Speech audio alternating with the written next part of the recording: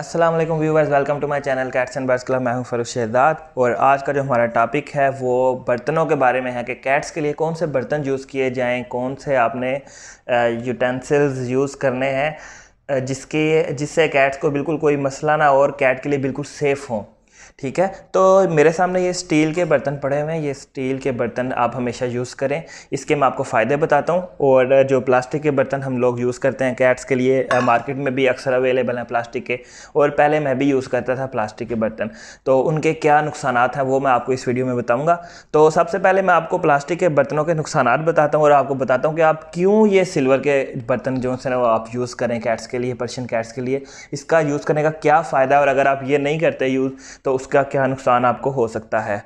तो अगर आप प्लास्टिक के बर्तन यूज़ करेंगे, जो कि बहुत सारा मार्केट्स में आते हैं, कलरफुल भी आते हैं और घरों में भी हम अक्सर प्लास्टिक के बर्तन यूज़ करते हैं कैट के लिए तो उससे क्या होता है कि प्लास्टिक में कुछ बहुत सारे जरासीम जो हैं, वो बढ़ना शुरू हो जाते हैं।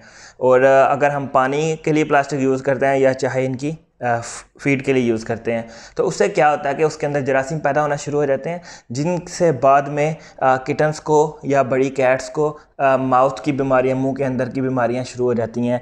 फंगस इन्फेक्शन आजकल बहुत ज़्यादा है, वो भी प्लास्टिक से काफ़ी कुछ बैक्टीरिया उठते हैं, जिसकी वजह से उनको हो जाता है।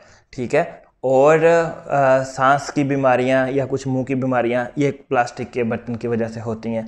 दूसरे नंबर पे हम बर्तनों को जो यूज़ करते हैं, उनको अच्छी तरह साफ़ नहीं करते। उनको डेली वॉशिंग की ज़रूरत है, उनको डेली आपने वॉश करना है, तब जाके तो वो बर्तन जो से, वो जरासीम से पाक होंगे, लेकिन प्लास्टिक में फिर भी बहुत जल्दी जो है जरासीम वापस आ जाते हैं। इस वजह से आपने प्लास्टिक के बर्तन यूज़ करने, आपने स्टील के बर्तन यूज़ करना, स्टील के बर्तन आप क्यों यूज़ कर सकते हैं?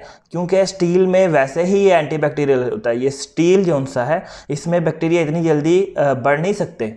ठीक है? काफ़ी टाइम लेते हैं। तो आप अगर स्टील के बर्तन यूज़ करेंगे तो इसमें वो वाले बैक्टीरिया तो स्पेशली नहीं होंगे, जो इनकी माउथ डिज़ीज़ का सबब बनते हैं या फिर इनके स्किन इन्फेक्शन का सबब बनते हैं वजह बनते हैं तो उस वजह से आपको बिल्कुल परेशानी नहीं होगी। और इनको आप अगर एक दिन अगर नहीं भी वाश किया, हर दो दिन बाद अगर आप वाश करें तो तब भी बेस्ट रहता है, आपको रोज़ वाश भी नहीं करना पड़ता है, और इसमें खाना भी काफ़ी हद तक फ्रेश रहता है। अक्सर आपने सुना होगा कि किटन जो सा है या देखा होगा, आपने ऑब्ज़र्व किया होगा, किटन खाना नहीं खा रहे खाना खाना छोड़ गया है, ठीक है? तो वो ऐसे होता है कि प्लास्टिक के अंदर कुछ स्मेल पैदा होना शुरू हो जाती है, जो कि हमें तो नहीं आती, लेकिन ये किटन जो हैं, ये काफ़ी सेंसिटिव होते हैं इस मामले में। तो इनको वो स्मेल आती है, जिसकी वजह से ये खाना कम कर देते हैं या खाना छोड़ ही देते हैं, ठीक है? पानी जो है, उसमें पानी पीना छोड़ देते हैं, पानी कम पीते हैं, जिससे इनको किडनी प्रॉब्लम वगैरह हो जाते हैं।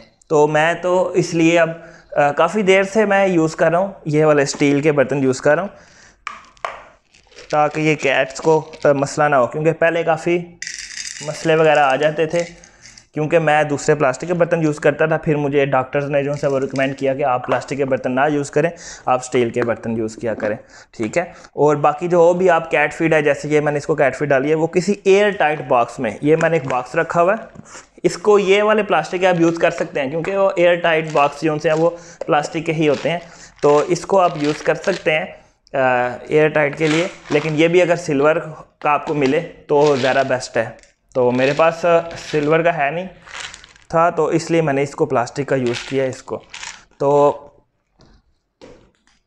इसमें जो सा खाना बिल्कुल सेफ़ रहता है और उसमें नमी वगैरह नहीं होती। अक्सर आपने देखा होगा पैकेट्स में हम रख देते हैं फ़ीड वगैरह तो वो फ़ीड जो सी होती है वो बाहर से ह्यूमिडिटी ज़्यादा होती है जिसकी वजह से वो थोड़े से आ, उनका टेस्ट ख़राब हो जाता है जिसकी वजह से किटन अक्सर नहीं खाते। तो एयर टाइट बॉक्स में फ्रेश रहता है। तो आप एयर टाइट बॉक्स में जो भी फ़ीड स्टोर करें इनकी एयर टाइट बॉक्स में करें। दूसरे नंबर पर आपने स्टील के बर्तन यूज़ करने हैं प्लास्टिक के नहीं यूज़ करने। जो कि मैं आपको पहले बता चुका हूँ कि आपने क्यों प्लास्टिक के नहीं यूज़ करने? कौन कौन सी बीमारियाँ जो सी वो आपको प्लास्टिक की वजह से हो जाती हैं, प्लास्टिक के बर्तन की वजह से। और स्टील के बर्तन यूज़ करें। और आपने देखा होगा कि डॉक्टर्स वगैरह ऑपरेशन के लिए भी स्टील के ही जो से औज़ार हैं, वो यूज़ करते हैं, सर्जरी के लिए स्टील के ही करते हैं। क्यों करते हैं? क्योंकि स्टील जो है सबसे कम अपने ऊपर जरासीम को बढ़ने देता है और बहुत जल्दी क्लीन हो जाता है और बहुत देर से इसके ऊपर बैक्टीरिया दोबारा से बढ़ना शुरू होते हैं। तो व्यूअर्स, ये थी मेरी आज की वीडियो। अगर आपको ये मेरी वीडियो पसंद आ रही है तो मेरे चैनल को सब्सक्राइब करें। बेल आइकन को क्लिक करें और दोस्तों को भी इस वीडियो के बारे में बताएँ। इसके साथ ही मुझे इजाज़त दीजिए। अल्लाह हाफिज़।